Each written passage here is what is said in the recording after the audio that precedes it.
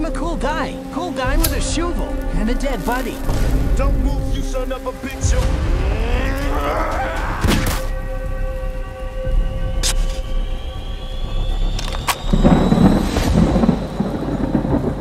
Yeah, yo, yo, call that watch out and tell him there's going to be big trouble, yo. Oh, shit. Shit, shit, shit, shit, shit, shit, shit, shit.